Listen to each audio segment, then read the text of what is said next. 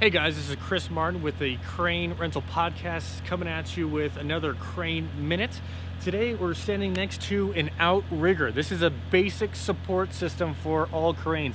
We have a rough terrain crane in the background, but this outrigger beam right here and our outrigger jack and our outrigger float is what this is, is all required to keep this crane stabilized and up in the air and level. You can move these jacks up and down to level this crane out.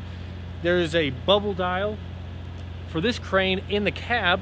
Most other all, all, pardon me, all-terrain cranes have the bubble dial on the side where you extend them out.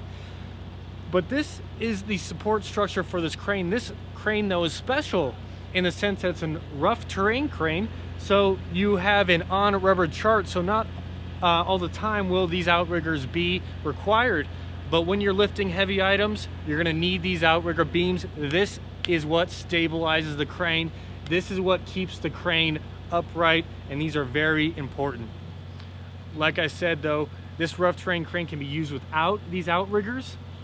It's a special crane like that. Some of the all-terrains can as well. But most cases, you're gonna want this beam down. You're gonna want this jack down, this beam extended fully.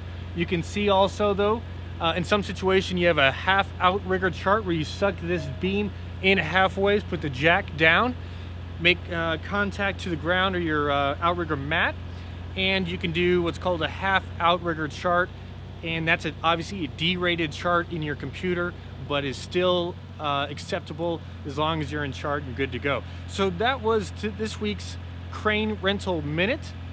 Next week we'll be pardon me, next week we'll be showcasing another crane rental part and talking about it. We'll see you next week, guys. Bye.